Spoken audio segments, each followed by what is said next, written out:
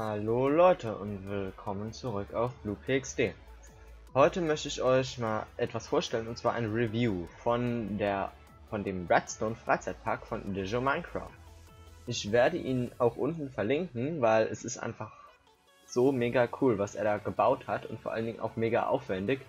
Und ich weiß gar nicht, ob wir das heute in einem Part schaffen, alles zu zeigen. Und deshalb will ich jetzt auch nicht so lange rumreden und deshalb gehen wir jetzt mal einfach rein. So, äh, zuerst mal Game Mode 0, weil wir spielen das heute mal in Survival, weil dann können wir es auch genießen und guckt einfach mal, wie groß es ist.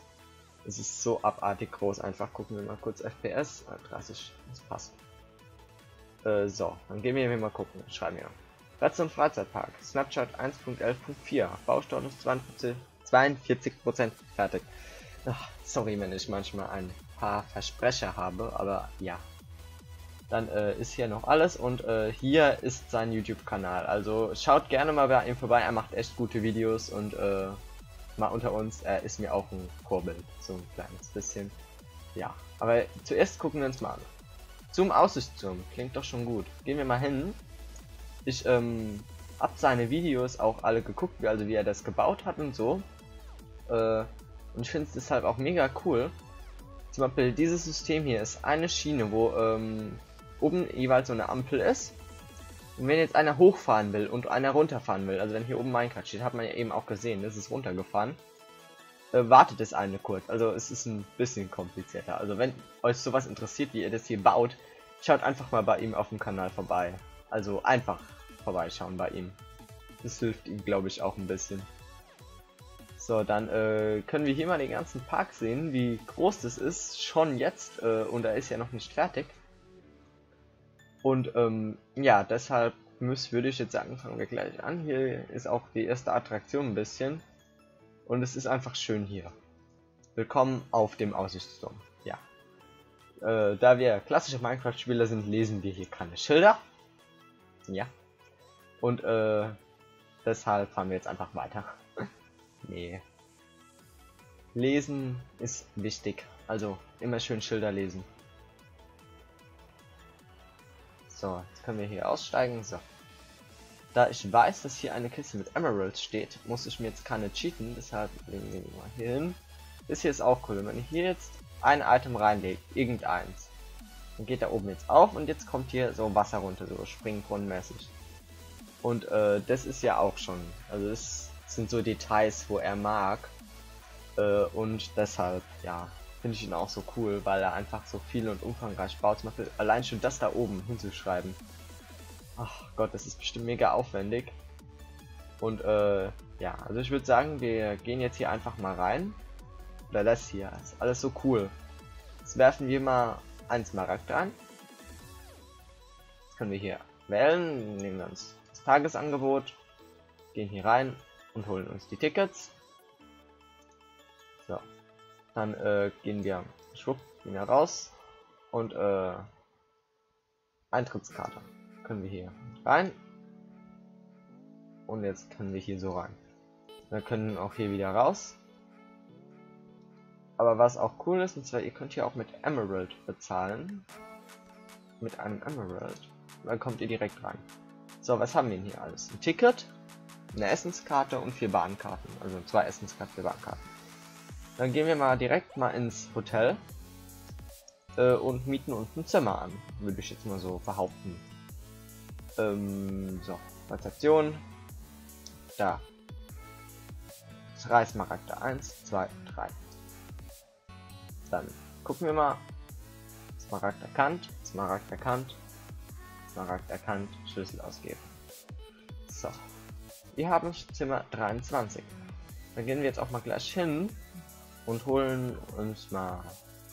Ja, ich kenne es halt von seinen Videos, aber in der Welt hier war ich, bin ich jetzt zum ersten Mal auch. 23er? Ja. Zimmer 23. Hier rein. Tür auf, Schlüssel wieder. Dann haben wir hier Müll, eine Ender Chest, ähm, halt alles mögliche, was man in Hotelzimmer hat. Und das coolste hier ist, wir können uns hier gratis Melonen holen. Können wir uns jetzt hier hinstellen, dann kriegen wir 5 Melonen und die können wir mitnehmen. Die nehmen wir auch mit, weil wir ja in Survival spielen.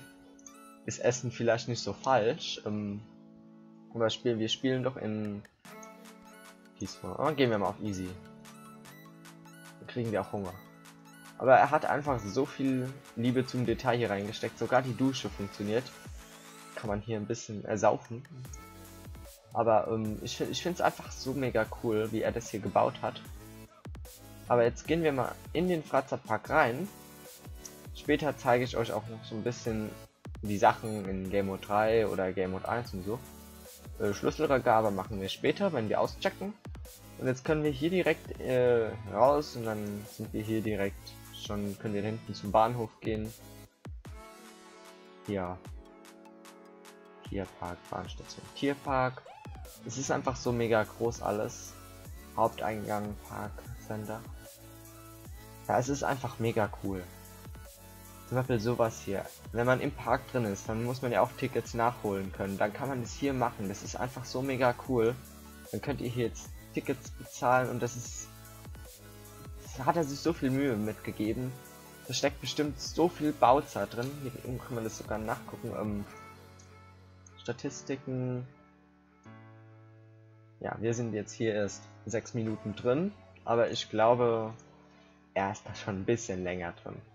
So, dann würde ich sagen, äh, fangen wir mal an. Ähm, wo fangen wir am besten an? Äh, gehen wir mal hier lang. Gehen wir mal da hinten zu seinem Donkey Kong Game. Ich hätte mir so eine Liste machen.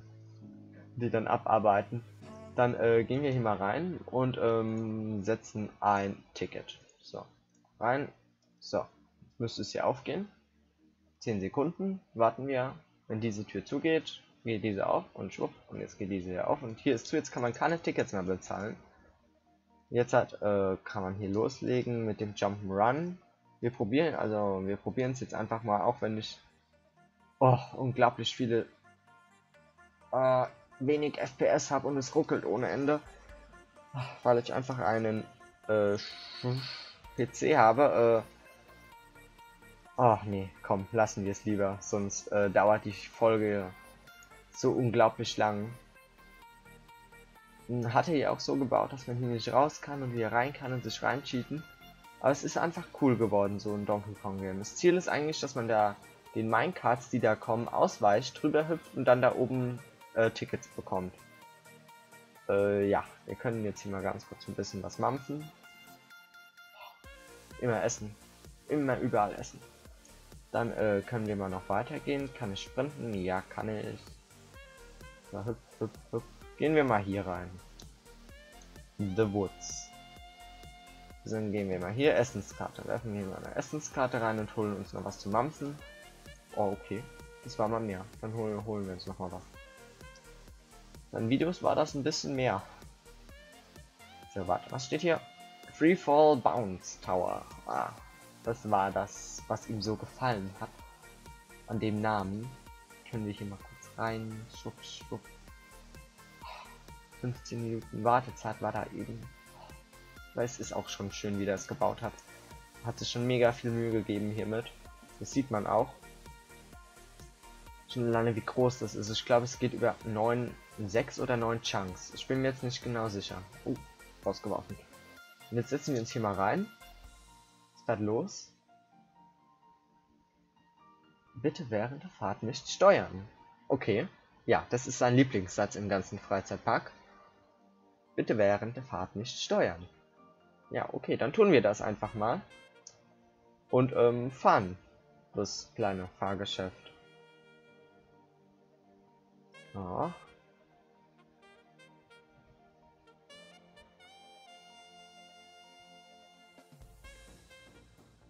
Fertig, los. Yay. Und bang. So, gleich geht da unten auch. Noch einmal und jetzt gleich geht da unten das weg und es kommt Wasser. Jetzt können wir hier rausfahren. Juhu. Und äh, ja, bitte nicht steuern. Jetzt machen wir hier kurz Halt, können aussteigen. Und das Boot bleibt stehen. Und das ist das Coole, was man an ihm auch äh, sagen muss. Er ist ressourcensparend. Also wenn man den Freizeitpark in, in Game Mode 0 spielt, so wie ich, und äh, ihn auf den Server packt und alles, was er ja auch so sagt, weil die Technik sich immer abschaltet. Das Boot steht immer noch. Wenn wir uns da vorne jetzt in den Fahrstuhl reinsetzen, äh, dann ähm, wird dieses Boot resettet, also es wird vernichtet und ähm, wird zurückgebracht zum Start. Wo kommt man hier raus? Äh, hier. Bitte aussteigen. Können wir hier raus. Aber man kann sich halt wieder rein cheaten. Oder? Nein. Ach. Ich dachte, das ging mal. Das. Ich glaube, das ging mal. Ja, okay, dann sind wir jetzt hier. Wo sind wir denn hier? Oh. Ich hab gar nicht mitgekriegt. Ah, so gut. Sind wir da. Äh, dann fahren wir jetzt mal die Wooden Coaster. Und so langsam gehen uns die Tickets aus. Da können wir gleich neue kaufen. Wir gehen zum Glücksspiel. Wir gehen nochmal hier rein.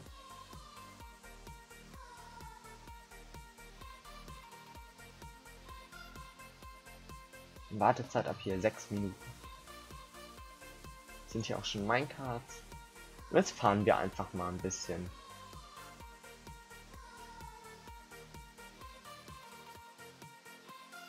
So, es war glaube ich ein bisschen, bisschen langweilig jetzt, aber ich sag, ich finde seinen Pack einfach so cool und deshalb finde ich, er hat es verdient, einfach mal vorgestellt zu werden. Weil ich sag, es gibt nicht so viele Leute, die YouTube wirklich aktiv machen und ähm, also doch, es gibt viele, die es aktiv machen, bloß ich sag jetzt, ich will jetzt nicht sagen, dass ich gut bin. Ich will äh, nur sagen, es gibt halt nicht einfach nicht viele Leute, die es sich versuchen Mühe zu geben, dass die Leute auch, dass es die Leute auch interessiert, was sie machen. So, dann wird hier wieder alles vernichtet und es wird wieder wiederverwendet. Wieder wiederverwendet. Ja, 1A gedeutscht. Kommen wir hier raus und ja, kommen wir mal zum Glücksspiel. Werfen wir mal ein Ticket rein und äh, drücken mal die 2. Gucken wir mal, was rauskommt, ob gleich was rauskommt. Ja, wir haben gewonnen. Wir haben drei Tickets, zwei Gewinne gemacht. Probieren wir es noch. Nochmal die 2 ist unsere Glückszahl heute, glaube ich. Und? Na? Nein, verloren. Schade. Egal, wir haben immer noch ein Ticket Gewinn gemacht. Und äh, ich würde jetzt sagen, bevor wir irgendwo anders dahin gehen, oder nee, komm, wir gehen noch ein Fahrgeschäft. Nein. Ach, sorry, das tut mir jetzt leid. Es ist ein Anruf-Fail mitten in der Aufnahme. Das tut mir jetzt echt mega leid. Aber äh, irgendwie ist dieser Freizeitpark verflucht. Bei Digital Minecraft, also der Typ da, der hier alles gebaut hat, wie er sich selbst gerne bezeichnet, äh, der hat ein bisschen alles gebaut, so, äh, was so irgend so ein Typ da, wie er immer so gerne macht äh, der hat in dieser, in diesem Park, in dieser Map, wo er gebaut hat, ich glaube schon ein paar hunderttausend Aufnahmefails, weil jemand angerufen hat. Und äh, deshalb, ja, da ist das wohl vorprogrammiert. Dann äh, fahren wir mal die Splash Water Slide, fahren wir nicht, das ist einfach nur eine Wasserrutsche. Also, das ist ein bisschen langweilig.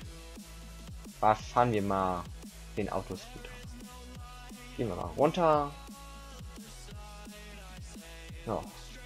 Und jetzt könnten wir halt, wenn noch ein paar anderen Spieler da wären, könnten wir halt hier so ein bisschen rumfahren und es ist, oh man. Oh, das war in der 1.8 besser, wo man die Boote steuern konnte, durch wo man hingeguckt hat. Oder einfach ist das nicht. Nein, nein, hoffentlich kann ich hin. Oh, gehen wir raus. Bevor wir uns ganz blamieren. Äh, und das Coole ist, jetzt kann man hier auf den Knopf drücken. Das macht es auch automatisch, sobald man dieses Gebiet verlässt durch die Treppe. Jetzt räumt es die Boote weg, die werden hier vernichtet in den, also nicht vernichtet, sondern zerstört und dann wieder ja, hochgebracht und wird da gleich, wenn das Wasser ausgeht, wieder was essen, äh, kommen da oben auch neue Boote raus. Gleich. Genau. Und setzen sich dahin und jetzt ist es wieder resettet, jetzt können neue Spieler fahren. Jetzt können wir hier über den Ausgang raus. Hier ist auch die Tripwire, das müsste jetzt dasselbe nochmal auslösen. Wir können ja kurz runtergehen, wir haben ja Zeit. Oder? Okay. Also ja. Das verstehe ich jetzt nicht ganz. Wir noch schnell runter gucken.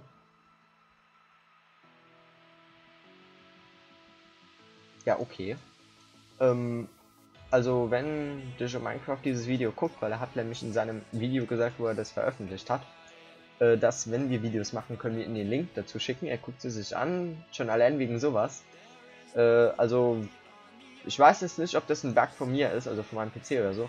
Aber äh, ich glaube, er sollte da mal nachgucken, wieso es jetzt nicht geht, wenn ich hier über die Tripwire gehe. Oder ob ich da irgendwas in seinen Videos verpasst habe. Oder ich einfach nicht zugehört habe. Dann äh, Ausgang, ja klar, äh, Ausgang, okay. So, jetzt sind wir wieder raus. Äh, das fahren wir ja nicht, haben wir ja gesagt. Äh, was ist kein Durchgang? Müll, äh, weg damit. Äh, so, Labyrinth.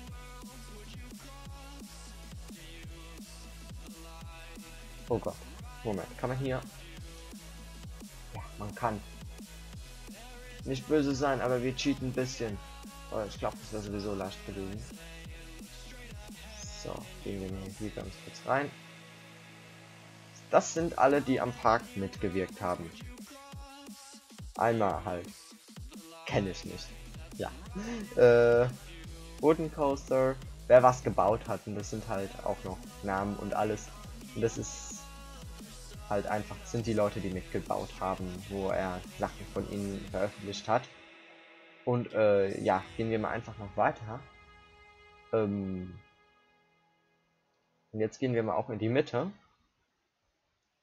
und äh, holen uns noch ein paar Tickets, weil sonst kommen wir heute nicht durch den Tag, so wie ich die Sache sehe.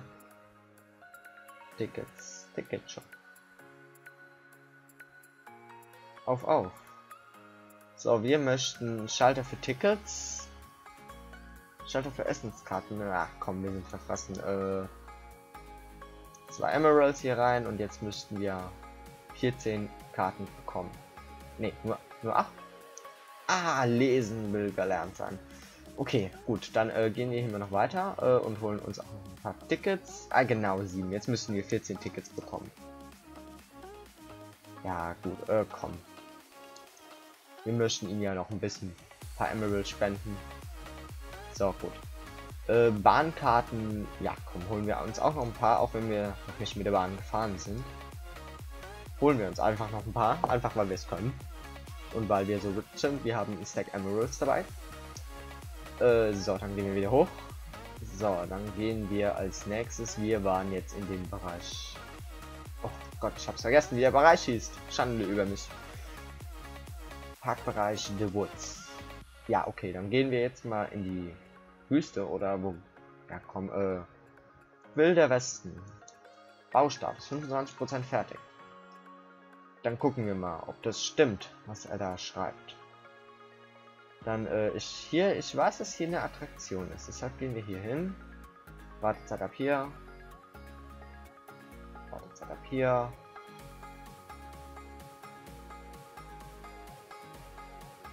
Oh, ganz schön lang hier. Oh Gott. Hier anzustehen. Die Qual. Ah, genau. Jetzt kommen wir dahin, wo ihr mich jetzt alle gleich in wenigen Sekunden auslachen dürft. Und zwar nämlich hier muss man das Boot steuern durch ein, also ein Race fahren sozusagen. Das, Problem ist, wie ihr vorhin schon gesehen habt, ich kann kein Boot fahren. Ja, und deshalb versuchen wir jetzt einfach mal das Beste hier rauszuholen. Das ist gar nicht so leicht, wie es bei ihm im Video ausgesehen hat. Top rein da, rein. Los. Und das müssen wir jetzt fertig fahren, weil wir sonst hier nicht, glaube ich, nicht rauskommen. Das wäre auch noch eine schöne, schnucklige Idee, wenn er hier Notausgang einbauen würde. Oh, bitte. Nein, hopp, komm jetzt, komm.